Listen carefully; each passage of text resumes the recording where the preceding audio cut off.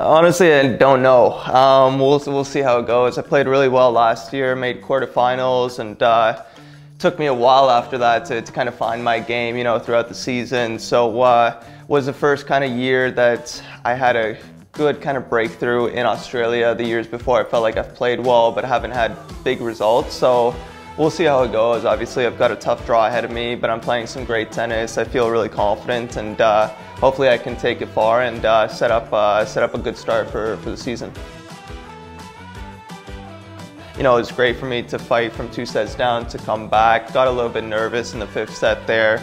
Uh, Rafa did extremely well to, to stay patient and, and kind of close me out once he had the break in the fifth. But uh, just a big learning experience from Australian Open, but also after, you know, how to to kind of get back into it and uh, not not let uh, the confidence and everything slip away after a couple bad results. So was uh, was a lot to, to learn from from last year's uh, run.